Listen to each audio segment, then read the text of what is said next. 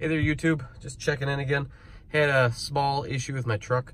So my uh, 2017 Ram has the power sliding rear window. It's awesome, uh, combined with the sunroof.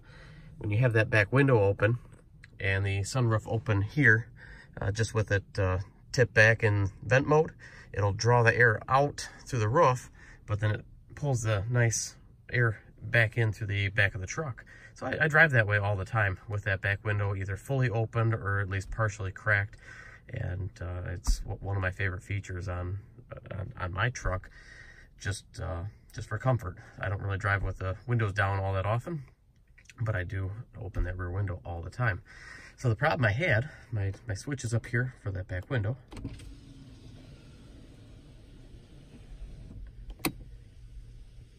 And the problem I had is when you go to close it, it kind of freezes up. And I don't know if it's still going to do it because I did already lube it up a little bit, but I, I, I think it needs to work in. So let's,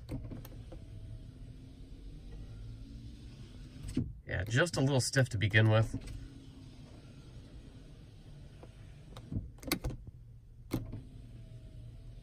Still much better than what it was before. And what I ended up doing is lubing that track in there. And next thing I'm gonna do is pop out and show you how I did that. So I'm gonna open her up. And I'll meet you outside to show you how I lube that track up. Well, it's a bit windy out here, but I just wanna show you first the lube that I'm using here. Uh, this is a dry lube, and the reason I went with this one is it actually says straight on the can that it's uh, safe on plastic. And as you're well aware, there's a lot of plastic on these trucks. So it's a Teflon style lube, again, safe for use on plastics. And then I'll climb up here and spray it right into the track. But the first thing I'm gonna do is do it from the inside and uh, I'll show you exactly where I'm spraying it. And hopefully if you guys have a similar issue, you can do the same on your truck. So it's a little hard to see here. Uh, it's really hard to really kind of get this on camera here. Uh, but the whole system here is pulled in each direction by a cable and then the window itself runs on a track, uh, upper and lower track here. And right below that cable, let's show, climb up in here. Right under that cable is where the track is. It's really hard to get this in here.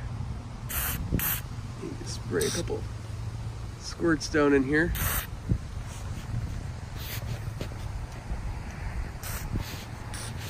All along this window track.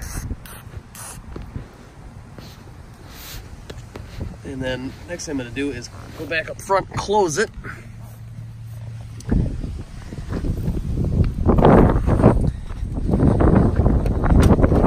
See if that helped any there. Not, spray it again. The entire thing closed here. All right.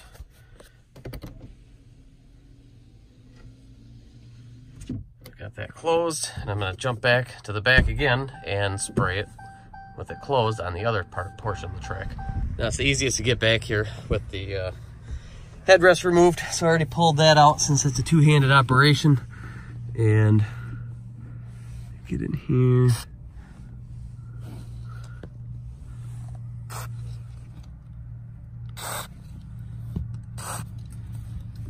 A couple spots. And hopefully now I should be good to go. So just wanted to show you exactly what I did to fix this sliding window here. And hope if you have a similar issue, it's a pretty easy fix versus having to take it in. So if you have any questions, leave them in the comments. If you really enjoyed this pretty simple video, give her a thumbs up. See you next time.